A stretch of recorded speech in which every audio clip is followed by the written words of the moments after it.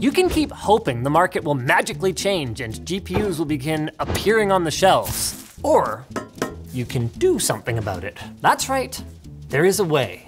Come closer. Don't be shy. A little closer. Don't tell anyone, but graphics cards are still on the shelves. They're just hiding in much bigger boxes. Ones that look like this. And today, we're gonna find out if getting the RTX 3070 in that PC is worth all the extra money you might end up blowing on the substandard parts included with it. We're also gonna see if there's a cheap way to turn a pre-built like this one into an enthusiast grade machine. Like say by putting a proper power supply in it from our sponsor, Seasonic. Seasonic makes great power supplies for brand new machines and for fixing up older ones, and we're gonna have them linked down below.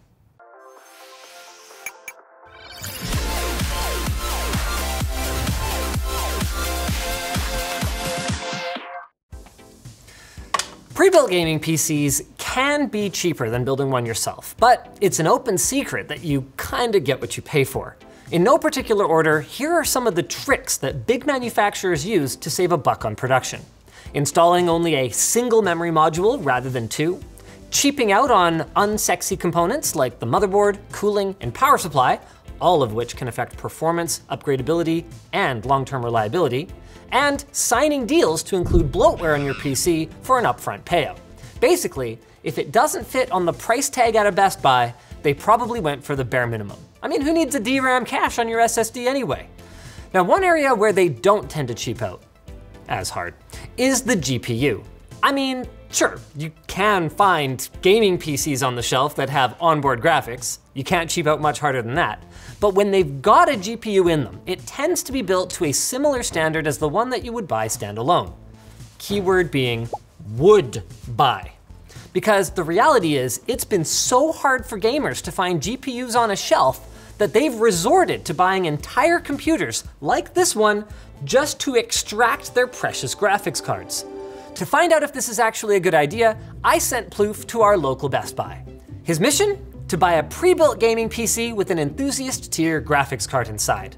Now the Asus ROG Strix G15DK wasn't, strictly speaking, on the shelf, but it was available in store. And once the sales rep came back with his big brown box, Plouffe paid the 2,800 Canadian pesos with the company credit card, strapped that machine to the back of his snowmobile, and made a beeline for the Mexican border.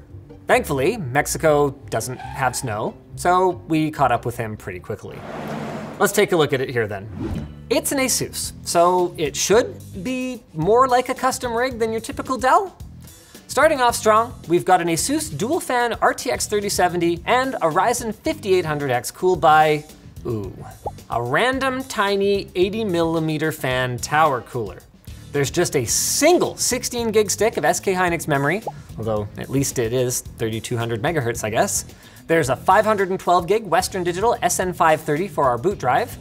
This appears to be an OEM only SKU with no DRAM cache, and they used a 7200 RPM 2 terabyte Toshiba hard drive for extra storage, which is fine, and all of that is sitting on an Asus Prime B550MK Micro ATX board, or so we thought. Our BIOS lists it as a G15DK. And the rig is powered by a Great Wall C700 80 plus bronze power supply. Now, this video is sponsored by Seasonic, so we're not gonna create an obvious conflict of interest by evaluating this beauty in any way, but we can say that the model of our unit is so obscure that the only place we found one for sale is a now delisted post on what appears to be Russian eBay.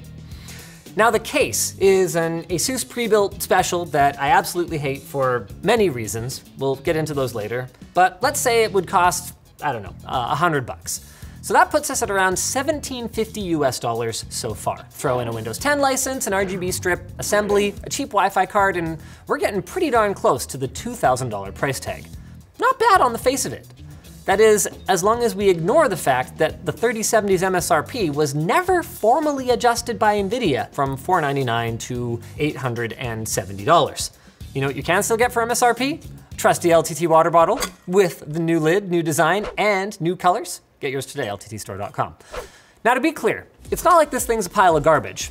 Our out of the box performance was pretty solid, but our CPU reached as high as 90 degrees Celsius in Cinebench.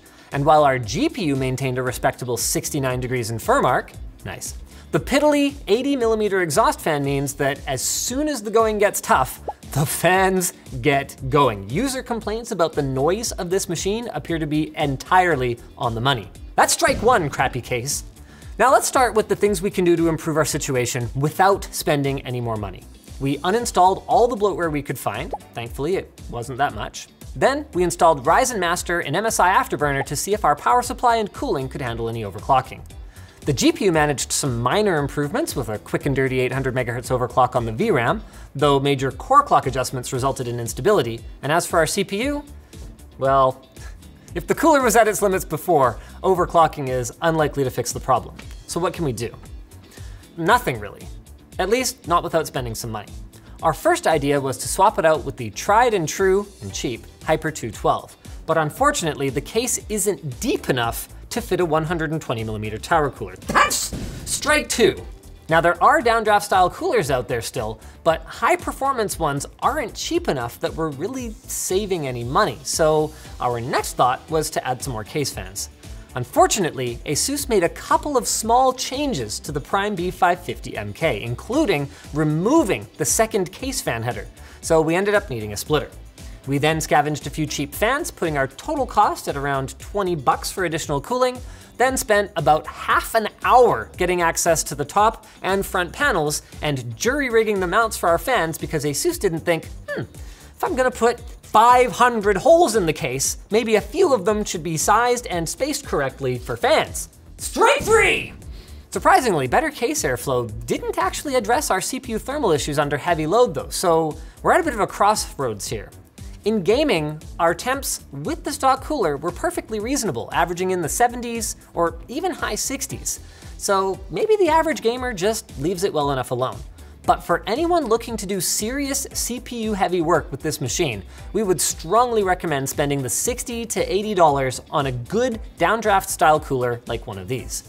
An all-in-one would be an option, but there's no cooling whatsoever on the VRMs of this motherboard, so going water cooling means that they could end up running really hot. Not to mention that getting a radiator into this thing is gonna be tricky to say the least. Just like putting an Xbox Series S into a computer case is gonna be a little tricky. Get subscribed so you guys don't miss that. Of course, we're not done trying to put lipstick on this pig.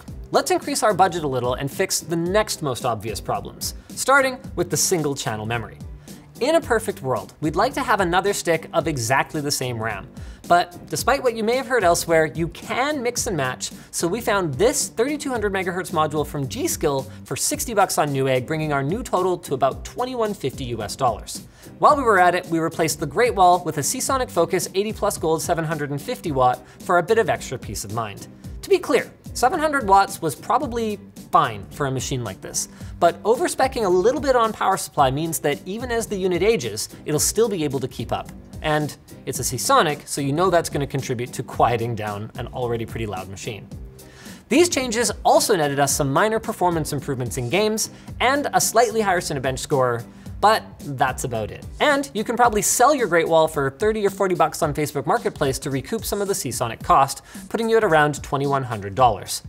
And without spending unreasonable amounts of money replacing core components, like the motherboard or storage, that's about all we can do with the sucker. So was it all worth it? Well, in the past, no, it wouldn't have been. But these days, for many people, the price that they're comparing against is what they would have to pay a scalper in order to get their hands on a GPU. So let's run the numbers here. Ignoring the GPU, let's recreate the system as we originally purchased it, but without wasting money on crap that we'd have to upgrade later. So better CPU cooler, two 8 gig sticks of memory, a more robust motherboard and case, a Seasonic power supply from the get-go, and all SSD storage. That puts us at about 1100 US dollars. We're gonna have those parts in our affiliate links down below add a $1,000 3070 off eBay, and we're getting a significantly better system actually here for only a little bit more cost. Or we could even go back to a hard drive and we could match the cost for our better system. So then, wait a minute, what happened? Okay. This technique of shucking the GPUs in pre-built gaming systems might have been a good workaround near the beginning of the shortage.